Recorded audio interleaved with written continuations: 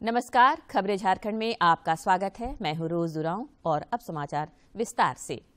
राज्य में महागठबंधन सरकार के कल तीन साल पूरे हो रहे हैं। मुख्यमंत्री हेमंत सोरेन ने आज प्रेस कॉन्फ्रेंस कर राज्य सरकार की तीन सालों की उपलब्धियाँ गिनाई। उन्होंने कहा कि कई चुनौतियों के बावजूद दलितों, आदिवासियों और वंचितों के लिए काम किया गया है। उन्होंने उम्मीद ज़ाहिर करते हुए कहा कि जिस रफ्तार से विकास की गति को अंजाम दिया जा रहा है, ऐसे में राज्य को आगे बढ़ने से नहीं रोका जा सकता। अनेक शहीद वीर सपूतों का ये सपना था कि राज अलग होगा, आदिवासी दलित पिछड़े अल्पसंख्यकों का जीवन स्तर में सुधार होगा। लेकिन दुर्भाग्य की बात है, बड़े सुनियोजित तरीके से इन वर्गों को आज भी उसी हाल पे छोड़ने का, उसी हाल में रहने के लिए योजनाबद्ध तरीके से इन वर्गों को विवश किया जा रहा है। आज आप देखेंगे क्योंकि जो हमारे मुख्य विपक्षी लोग हैं, वो देश के पैमाने पे भी काबिज हैं, देश के नीति निर्धारण कर रहे हैं, और आप जानते होंगे कि देश का सबसे अधिक ग्रामीण क्षेत्र के जो नौजवान वो लोग अपने रोज़गार के लिए, नौकरियों के लिए सबसे अधिक सैन्य बल में उनकी रिक्रूटमेंट होती है। रेलवे में लोग बड़े पैमाने में नौकरी करने जाते थे। बैंकों में बड़े पैमाने पर नौकरी करने जाते थे। रेल में रोज़गार को लेकर क्या स्थिति उत्पन्न हुई है, वो आप लोग के सामने रहा, पूरे देश के सामने रहा। सैन्य बल में नियुक्ति की क्या स्थिति रही, वो आपके सामने रहा। बैंकों में रोज़गार को लेकर क्या स्थिति बनी, वो आपके सामने रहा। आज देश में बेरोजगारों का पहाड़ खड़ा हो चुका है और रोज़गार लगभग बंद। और छोटे मोटे जो उद्योग थे छोटे मझोले वाले इन लोगों ने तो जो कोरोना में जो इनको मार पड़ी और नोटबंदी ने जो कमर तोड़ा, उससे अभी भी उभर नहीं पाए। आखिर ये वर्ग जाएगा तो? ये बहुत बड़ा चिंता का विषय है। आज बड़े चिंता का विषय है कि आज इस भौतिकवादी युग में जब हम चाँद पर बसने का सपना पालना हम लोगों ने शुरू कर दिया। वहीं हमारे देश के विभिन्न राज्यों में महिलाओं के ऊपर बहुत ही कहा जाए कि उसको बयान नहीं किया जा सकता। इस तरीके के घटनाएँ या उत्पीड़न शुरू हो चुके हैं। हालाँकि महिला उत्पीड़न तो होता ही रहा है। खैर, इस राज्य में तो बहुत पहले से भी चला आ रहा था। जो, हालाँकि मैंने जो सोचा है, जो मेरा अगला साल शुरू होगा, वो साल इम्प्लीमेंटेशन का होगा। और मुझे लगता है, जितना हम लोगों ने इस राज्य के लिए और इस राज्य के आने वाले कई पीढ़ियों तक के लिए जो हम लोगों ने तैयारियाँ की है, जो मैं पहले भी कहा कि ये राज्य पिछड़े राज्यों में से एक आता है। और 20 सालों में क्यों ये आगे नहीं बढ़ पाया, ये बहुत दुर्भाग्य की बात है और ये बहुत चिंता का विषय है। आज मैं पूरी तरीके से इस, जो पिछड़ापन का जो धब्बा है, इसको खत्म करने का हमारा प्रयास। और विकासशील राज्यों के दौड़ में इसको शामिल कराना। आज इसको लेकर कई उद्योग पॉलिसीज़ हम लोगों ने जो लॉन्च किया, काफ़ी लोगों ने सराहा। और कई लोग आने भी लगे थे। आप लोगों ने देखा डालमिया सीमेंट वो आकर के एस्टेब्लिश भी हो गया प्रोडक्शन भी चालू हो गया, उद्घाटन भी हो गया, कब का हो चुका जैसे कि अजीम प्रेम जी फाउंडेशन को भी हम लोगों ने किया, वो भी अब यहाँ बहुत जल्द ये में आ जाएँगे। और कई उद्योग जो मुझे कुछ खबर है, कई उद्योगों ने काफ़ी उत्साहवर्धक संदेश भी दिया और एक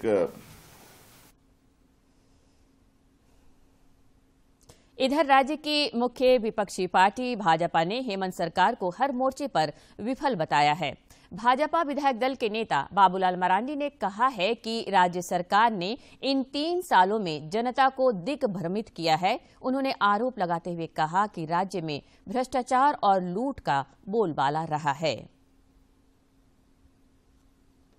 हेमंत सोरेन की अगुवाई वाली झारखंड सरकार अपने तीन साल पूरा करने का जश्न मना रही है। आखिर वो जश्न मनाने की कितनी हकदार है, हम समझते हैं। भारतीय जनता पार्टी के विधायक दल के नेता बाबूलाल मरांडी जी से, सर, सरकार को हक है जश्न मनाने का?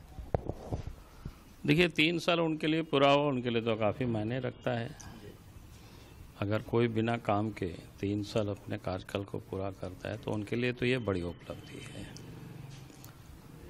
लेकिन तीन वर्षों का जो कार्यकाल रहा हेमंत सोरेन की, झारखंड की जनता के लिए वो बहुत ही निराशाजनक रहा।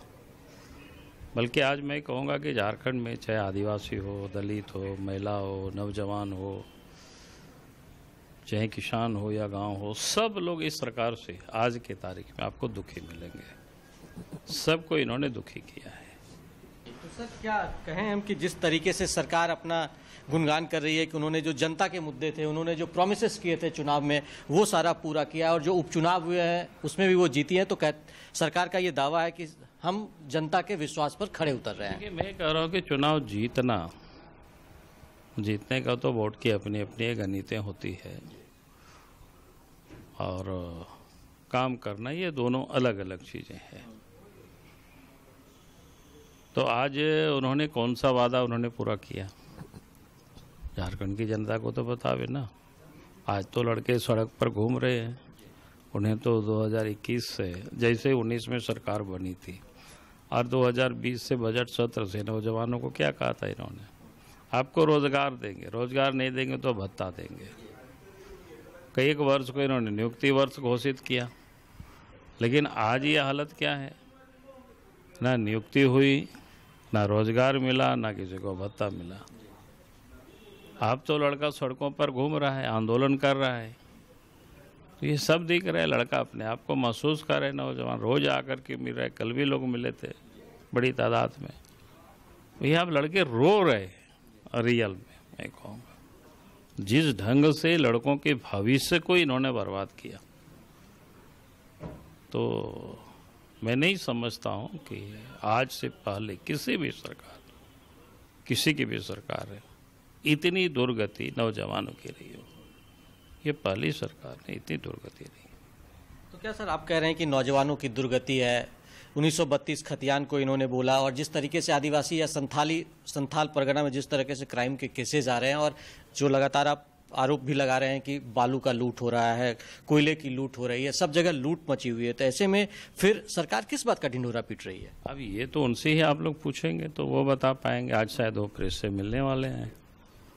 भाई, आप 1932 की बात करते हैं। 1932 में उन्होंने क्या किया? कुछ भी नहीं किया। यात्रा निकाल रहे आभार व्यक्त कर रहे हैं। भाई, एक तो आपको कोई कानून बनाने का कोई राइट नहीं है। कानून तो अगर आप संविधान को देखेंगे, जो राज्य सरकार को हक है कि राज्य सरकार के जो अधिकार क्षेत्र में है, वो काम करेंगे। जो राज्य सरकार के अधिकार के क्षेत्र में नहीं है, वो कानून नहीं बना सकते। हाँ अधिक से अधिक वो कर सकते हैं कि विधानसभा से कोई एक रेजुलेशन ले करके वो केंद्र को वो भेज सकते हैं। सर, लोकतंत्र में विपक्ष की भी उतनी महत्वपूर्ण भूमिका होती है। और अगर सकारात्मक भूमिका निभाने के लिए विपक्ष तैयार है तो ऐसे में हम चाहते हैं कि सरकार के आपकी तरफ़ से कुछ सजेशंस होने चाहिए ताकि आगे अगले दो सालों में कुछ करें। सजेशन तो इतना ही होता है ना, हमने कहा कि एक तो विधानसभा का पटल होता है, जहाँ पर बहस की हम लोग मांग करते हैं। तो सरकार होती है तो बहस कराती, लेकिन बहस कराने को तैयार नहीं है वो। तो चाहता है मेरे पास बहुमत है, हम कुछ भी कर लेंगे। चलो भैया। सरकार फिर करती है या तो फिर सर्वदलीय मीटिंग बुलाते कोई महत्वपूर्ण मुद्दों को लेकर के, वो भी नहीं करती है। तो अपोजिशन के पास तो क्या बचता है? हल्ला करने का सिवा और क्या बचता है? हल्ला ही करेंगे, प्रेस के माध्यम से, सरकार को पत्र लिखेंगे। अभी जैसे इतने करप्शन की बातें सामने आ रही हैं। जब करप्शन की बातें सामने आ रही है तो सरकार क्या कहती है कि भाई हम आदिवासी मुख्यमंत्री, इसलिए हमको परेशान कर रहे हैं। जो जाँच एजेंसी है, वो तो करेगी कार्रवाई। मतलब आप लोगों के आगाह करने के बावजूद सरकार कहें कि बहुमत के नशे में चूर रही और सब कुछ चलता रहा? नहीं बिल्कुल। मैं तो कहूँगा कि हमने तो एक नहीं लगता है कि हम सैकड़ों पत्र लिखे होंगे मुख्यमंत्री को। और मैं ये कहूँगा हम लोग कहीं भी पत्र लिखते हैं कम से कम एक नॉलेजमेंट तो आ जाता है। ये मैंने झारखंड में देखा है कि भाई ये मुख्यमंत्री कोई एक नॉलेजमेंट तक तो बाबूलाल मरांडी जी से हम बात कर रहे थे। उन्होंने साफ़ तौर पर कहा कि पिछले तीन सालों में राज्य आगे नहीं बढ़ा है बल्कि कई पायदान पीछे खिसक गया है। और सिर्फ़ यहाँ पर जो है वो बंदर बाट की स्थिति बनी हुई है। अपने सहयोगी सरिता के साथ मैं दिवाकर कुमार, दूरदर्शन समाचार, रांची। आजसू पार्टी के प्रमुख सुदेश कुमार महतो ने भी महागठबंधन सरकार को हर मोर्चे पर विफल बताया है। उन्होंने दूरदर्शन से बातचीत में कहा कि हेमंत सरकार के तीन साल युवाओं के साथ विश्वासघात के रहे। उन्होंने कहा कि राज्य भर में संसाधनों की लूट मची है और झूठ पर झूठ बोला जा रहा है। राज्य की हेमंत सोरेन सरकार अपने तीन साल का जश्न मना रही है। इन तीन सालों में सरकार ने क्या कुछ झारखंड को दिया है और कहाँ झारखंड पीछे हुआ है या आगे पहुँचा है? हमारे साथ बातचीत करने के लिए आजसू पार्टी के मुखिया सुदेश महतो जी हैं। किस तरीके से आप इन तीन सालों को देखते हैं? राज्य आगे बढ़ा है या पीछे हो गया? भ्रमित करके जनादेश लेने वाली सरकार का क्या हर्ष है हर पैरामीटर पर आप झारखंड को पीछे पाएँगे आप? तो धोती दलील का तो कोई जवाब होता नहीं है। और चूँकि आपके पास झारखंड का पैसा है, आप मीडिया के माध्यम से इस पैसे को उड़ा सकते हैं। आप अपना प्रचार प्रसार अपने पोस्टर टांग के कर सकते हैं, लेकिन आपके विकास पोस्टर पे ही दिखेंगे, धरातल पर कोई नहीं दिखेगा। यही सच्चाई है, और मैं कभी भी, मैं अगर चुनौती दे रहा हूँ तो आप उसको मिलन करो। मिलन करके हमके बताइए कि पिछले पाँच साल के अंदर में जो आने पीछे जब सरकारें रही हैं उस समय उन्होंने पाँच हज़ार किलोमीटर रोड बनाया मैं दस हज़ार किलोमीटर रोड बनाया। यही ना होगा। अपने कृषि के क्षेत्र में वो पिछली सरकार ने किसान के हित में मूल्यों का निर्धारण नहीं कर पाए मैंने मूल्यों का निर्धारण कर दिया। किसान के लिए आपने कई तरह की जो उनके लिए जो प्रोमिस आप है ये एक हुआ कि मैं जनरल पैरामीटर पर आपसे बात कर रहा हूँ। युवाओं के लिए बात कर रहे हैं। आपने युवाओं के लिए जो कहा था युवाओं के लिए क्या किया? नीतिगत निर्णय जिसका विश्वास पर आप यहाँ तक आए हैं, नीतिगत निर्णय आपके कहाँ पर है, किस पड़ाव पर है, किस स्टेटस उसका क्या है, इसको आपको बताना चाहिए। तो ये सारे चीज़ों पर उनकी कोई चर्चा नहीं होगी। वो सुखाड़ के कल पैसे बांटेंगे और ढिंडोरा पीटेंगे। सुखाड़ एक परिस्थिति है, जिस पर सुखाड़ के ऊपर भारत सरकार का भी सहयोग रहता है। अगर किसान के हित में तो पहले से ही प्रधानमंत्री जी लगातार किसान को कई वर्षों से उनके इनकम जनरेट करने के लिए, उनके एक सपोर्ट के लिए वो एक फंड देते आई है, सीधे फंड सम्मान निधि योजना के तहत देते आई है। इस तरह का कोई योजना आपके पास स्टेट में इंडिविजुअल है ही नहीं। किसी भी सेक्टर पे चले जाओ, नौकरियाँ से लेकर जहाँ भी चले जाओ सब जगह पर फैले ये आप अपना पोथी तो निकाल लो, जो प्रोमिस आपने पब्लिक को बोला। उसको निकाल लीजिए रख लीजिए और बोलिए नंबर वन मैंने कर दिया नंबर टू मैंने कर दिया। तो आपको मानेंगे कि आपने तीन साल के अंदर में इतना दूर कदम इतना कदम आगे झारखंड बढ़ा है। ये लगातार ये कह रहे हैं कि हमने नियोजन नीति लेकर मैं आ गया बत्तीस खतियान मैंने लागू कर दी कराने की कोशिश की ओबीसी आरक्षण का मुद्दा मैंने सॉल्व कर दिया लेकिन सब कुछ वैसे ही ढुलमुल। क्या सिर्फ़ जनता का विश्वास जीतने की कोशिश या गुमराह करने की कोशिश है? देखो ये नियोजन नीति का हर सबने देख लिया। सबसे पहला कोशिश आपने किया था और उसका हर तीन साल के बाद दिखा। जब लोगों को, युवाओं को झारखंड के मेहनत का नौजवान जो पढ़ लिख कर खुद को तैयार करके एग्ज़ाम के लिए तैयार किया, जिनका एक बड़ा भविष्य कहीं ना कहीं उस तैयारी के साथ जुड़ा हुआ था। एक बार में कितने एग्ज़ाम तैयारी सब खत्म हो गया। अब अंधकार में परिस्थितियाँ क्या है, किसी युद्ध के पास जाओ, जिसने तैयारी की थी, जिसने सपने संयोजित थे, उनके हालात को देखो। शायद इस विश्व से ये ऊपर है परे हैं। झारखंड की भावना से खेलना इनकी आदत रही है झारखंड मुक्ति मोर्चा की। शुरू काल से ही मैं हमेशा बोलता हूँ कि आंदोलन के क्रम में भी ये भावनात्मक रूप से लोगों को केवल कांग्रेस पार्टी का आज 138वां स्थापना दिवस है।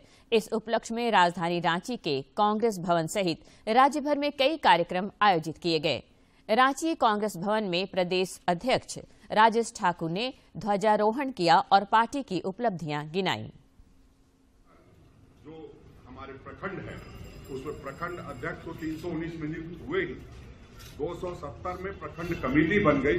ये हमारे लिए गौरव की बात है कि हम संगठन सशक्तिकरण का जो अभियान चला रहे थे, जो हमें हमारे प्रभारी आदरणीय अविनाश पांडे जी के मार्गदर्शन में चलाने का अवसर मिला।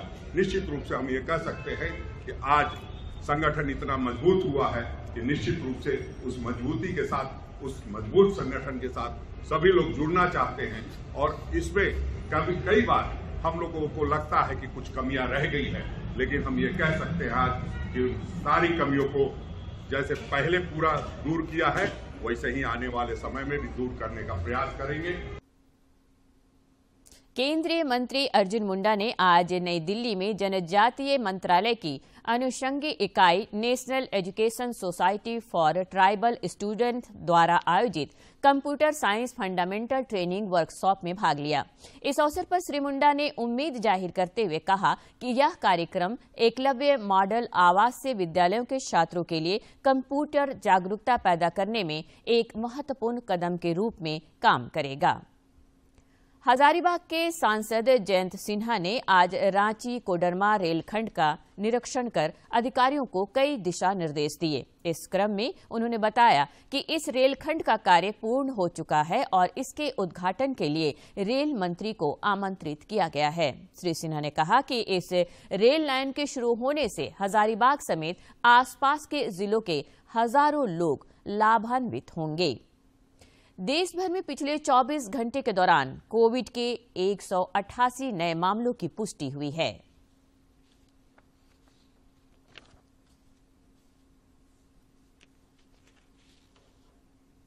कोविड के खिलाफ जारी जंग में टीकाकरण अभियान तेज गति से जारी है। देशव्यापी टीकाकरण अभियान के तहत अब तक दो अरब बीस करोड़ सात लाख से अधिक टीके लगाए जा चुके हैं। 20 करोड़ सात लाख से अधिक टीके लगाए जा चुके हैं। पिछले 24 घंटे में नब्बे हज़ार से अधिक टीके लगाए गए हैं। वहीं अब तक 22 करोड़ 38 लाख एहतियाती टीके लगाए जा चुके हैं।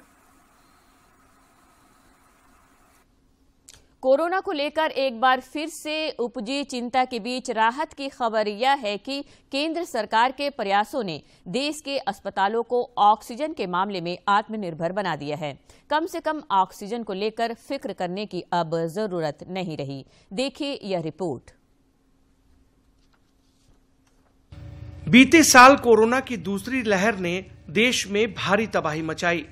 ज़्यादातर मौतों की वजह मरीजों को समय पर और पर्याप्त ऑक्सीजन नहीं मिलना बताया गया। लेकिन कहते हैं ना कि आवश्यकता ही आविष्कार की जननी होती है। केंद्र सरकार के मज़बूत इरादों और ईमानदार प्रयासों ने बहुत ही कम समय में देश भर के अस्पतालों में ऑक्सीजन प्लांटों का ऐसा नेटवर्क खड़ा किया कि देश तो क्या दुनिया की बड़ी ताकतें भी ताकती रह गईं। इसी की एक छोटी सी बानगी है रांची का मंडल रेल अस्पताल। यहाँ बने 250 लीटर क्षमता वाले ऑक्सीजन प्लांट से अस्पताल के बेडों पर ऑक्सीजन की सीधी और निर्बाध आपूर्ति की व्यवस्था है। रेलवे बेनिफिशियरी लगभग सात हज़ार सत्रह फैमिलीज़ है। तो इसको आपने चार गुना कर लोगे तो ये twenty eight thousand thirty thousand लगभग हम लोग का रेलवे बेनिफिशियरी। रांची रेल मंडल के मुख्य चिकित्सा अधीक्षक डॉक्टर सुशील कुमार बेहरा बताते हैं कि लगभग तीस हज़ार से अधिक लाभुक हैं। जो मंडल रेल अस्पताल पर भरोसा करते हैं। उन्होंने कहा कि इसके अलावा विपत्ति की घड़ी में जन सामान्य के लिए भी अस्पताल के दरवाजे चौबीसों घंटे खुले रहते हैं। पीएसए प्लान का सपोज़ सडनली कुछ ब्रेकडाउन हो जाएगा तो हमारा जुम्बो सिलेंडर का भी सप्लाई का प्रोविज़न है और थर्टी जुम्बो सिलेंडर हमारे पास अवेलेबल है, complete full complete fill offer में, और ये भी इसको अल्टरनेट में यूज़ कर सकते हैं।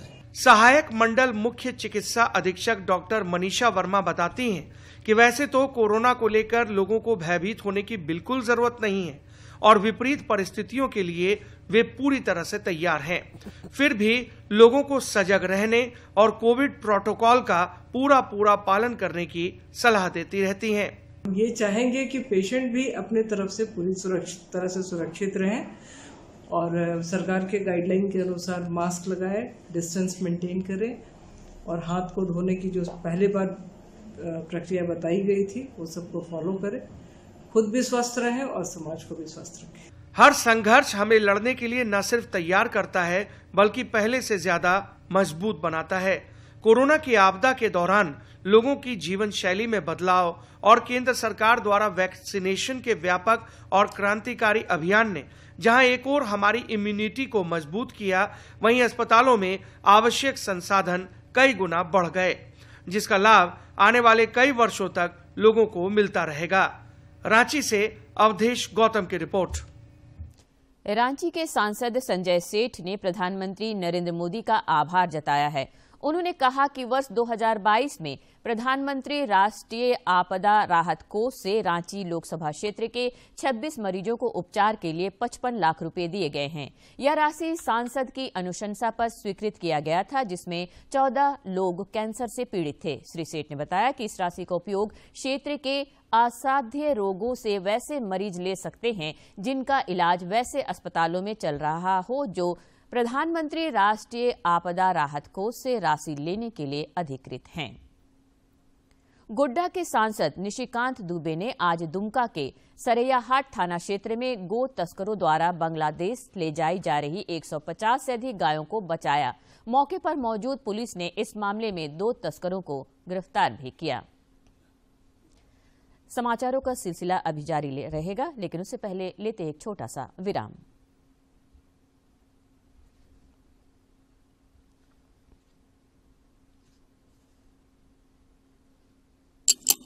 समय कभी किसी का इंतज़ार नहीं करता। देर न कीजिए, यह आपके द्वारा दिया हुआ टैक्स ही है, जो आज देश को सुरक्षित और समृद्ध बना रहा है। शिक्षा, स्वास्थ्य और इंफ्रास्ट्रक्चर की सुविधाओं को देश के कोने कोने तक पहुँचा रहा है। करदाता, कृपया ध्यान दें, यदि आपने अब तक निर्धारण वर्ष 2022-23 की अपनी टैक्स रिटर्न फ़ाइल नहीं की है तो लेट फ़ीस के साथ 31 दिसंबर 2022 तक आप अपनी टैक्स रिटर्न फ़ाइल कर सकते हैं। और यदि आपने निर्धारण वर्ष 2022-23 की अपनी टैक्स रिटर्न ड्यू डेट से पहले फ़ाइल की थी तो आप अपनी रिवाइज्ड रिटर्न बिना लेट फ़ीस के 31 दिसंबर 2022 तक फ़ाइल कर सकते हैं। याद रखें, निर्धारण वर्ष 2022-23 की टैक्स रिटर्न भरने की अंतिम तिथि है 31 दिसंबर 2022 प्रत्येक आय करदाता एक राष्ट्र निर्माता। समय कभी किसी का इंतज़ार नहीं करता। देर न कीजिए, यह आपके द्वारा दिया हुआ टैक्स ही है, जो आज देश को सुरक्षित और समृद्ध बना रहा है। शिक्षा, स्वास्थ्य और इंफ्रास्ट्रक्चर की सुविधाओं को देश के कोने कोने तक पहुँचा रहा है। करदाता, कृपया ध्यान दें, यदि आपने अब तक निर्धारण वर्ष 2022-23 की अपनी टैक्स रिटर्न फ़ाइल नहीं की है तो लेट फ़ीस के साथ 31 दिसंबर 2022 तक आप अपनी टैक्स रिटर्न फ़ाइल कर सकते हैं। और यदि आपने निर्धारण वर्ष 2022-23 की अपनी टैक्स रिटर्न ड्यू डेट से पहले फ़ाइल की थी तो आप अपनी रिवाइज्ड रिटर्न बिना लेट फ़ीस के 31 दिसंबर 2022 तक फ़ाइल कर सकते हैं। याद रखें, निर्धारण वर्ष 2022-23 की टैक्स रिटर्न भरने की अंतिम तिथि है 31 दिसंबर 2022 प्रत्येक आय करदाता एक राष्ट्र निर्माता। विराम के बाद खबरें झारखंड में फिर से आपका स्वागत है। सावधानी हटी तो दुर्घटना घटी। और अगर मामला रसोई गैस का हो, तब तो हमेशा चौकन्ना रहने की ज़रूरत है। एलपीजी की टीम स्कूली बच्चों को सुरक्षा के गुर सिखा रही हैं ताकि बहुमूल्य जीवन सुरक्षित रहे। एक रिपोर्ट। ये हैं सरायकेला खरसावां जिला स्थित Gamharia Vidya Bharati plus two high school के छात्र और उनके वो अभिभावक जिन्हें घरेलू रसोई गैस सिलेंडर से जुड़े सुरक्षा मानदंड समझाए जा रहे हैं। 19 दिसंबर 2022 से 19 जनवरी 2023 तक इंडियन बॉटलिंग प्लांट एलपीजी सुरक्षा उत्सव मना रहा है और इस दौरान उपभोक्ताओं को घरेलू गैस के सुरक्षित उपयोग के गुर सिखाए जा रहे हैं। इंडियन ऑयल का हमेशा प्रयत्न रहा है कि हम लोग यहाँ सेफ्टी क्लिनिक करें, क्योंकि आगे जाके यही लड़कियाँ गृहिणी बनती हैं, लड़के घर संभालते हैं। तो इसीलिए हम लोग चाहते हैं कि इनको बचपन से ट्रेन कर सके प्रिकॉशंस दे सके, ताकि एलपीजी का इस्तेमाल और एलपीजी को कैसे सुरक्षा से इस्तेमाल करना है, वो जान सके। आईओसीएल और केपी कंडेन के संयुक्त तत्वावधान में आयोजित इस कार्यशाला से कई छात्र छात्राओं और उनके अभिभावकों में जागरूकता आई है। अब ये लोग सावधानी ही सुरक्षित जीवन का मूल मंत्र है इस फार्मूले को समझने लगे हैं। हमने ये सीखा कि हमें गैस का इस्तेमाल बहुत अच्छी तरह से करना चाहिए ताकि कोई भी कोई भी लापरवाही हम नहीं बरतेंगे। क्योंकि और ये भी ध्यान रखना चाहिए कभी भी हम गैस को ऑन करके और कहीं ना जाए नहीं तो बहुत खतरनाक हो सकता है। अगले महीने तक चलने वाले इस सुरक्षा सप्ताह के ज़रिए आईओसीएल लोगों को एलपीजी के सुरक्षित इस्तेमाल के प्रति जागरूक कर रही है। घरेलू गैस का हर घर में इस्तेमाल होता है, लेकिन एक छोटी सी लापरवाही भी जानलेवा साबित हो सकती है। इसलिए किसी भी आपात स्थिति से निपटने के लिए तुरंत इमरजेंसी हेल्पलाइन नंबर से मदद मांगनी चाहिए। इन बच्चों को हमने प्रशिक्षित देने का काम किया ताकि घर जाकर उस परिवार में बता सके कि सुरक्षा के दृष्टिकोण में जो मापदंड है, उसको हम लोग किचन तक कैसे सुनिश्चित वाकई में इंडियन ऑयल कॉरपोरेशन लिमिटेड और KP Kanden gas agency Gamharia ने छात्र छात्राओं को सुरक्षा ट्रेनिंग देकर सराहनीय कार्य किया है। ऐसे में देश भर की गैस एजेंसियों को इनसे सीख लेकर इस तरह के सुरक्षा कार्यक्रम चलाने चाहिए। ताकि प्रत्येक रसोई गैस उपभोक्ता इसके सुरक्षित इस्तेमाल को लेकर हमेशा गंभीर और सतर्क रहे। सरायकेला खरसावा से अनुप मिश्रा की रिपोर्ट। नक्सलियों के खिलाफ चलाए जा रहे राज्यव्यापी अभियान में पुलिस को आज बड़ी सफलता मिली है। रांची में पुलिस के समक्ष आज नक्सली संगठन भाकपा माओवादी के कमांडर अमन गंजू ने सरेंडर कर दिया। अमन गंजू पर झारखंड पुलिस की ओर से 15 लाख का इनाम और एनआईए की तरफ़ से 4 लाख का इनाम घोषित था। मुख्यमंत्री हेमंत सोरेन ने आज रांची के मुराबादी मैदान में राष्ट्रीय खादी एवं सरस महोत्सव का उद्घाटन किया।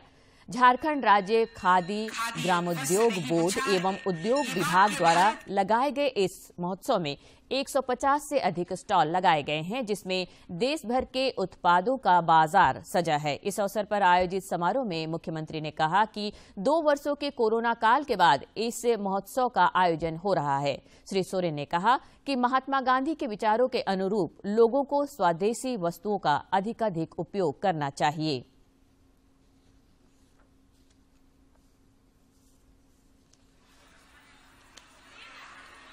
आज आप लोगों के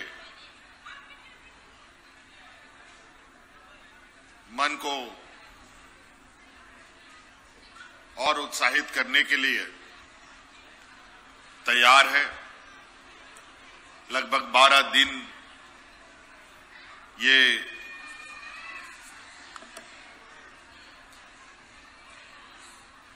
मेला का आयोजन होगा।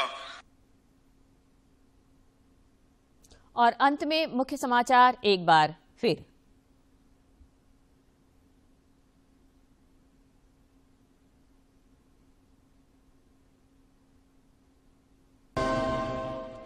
मुख्यमंत्री ने गिनाई तीन वर्ष की उपलब्धियाँ कहा, चुनौतियों के बावजूद दलितों, आदिवासियों और वंचितों के लिए किया काम।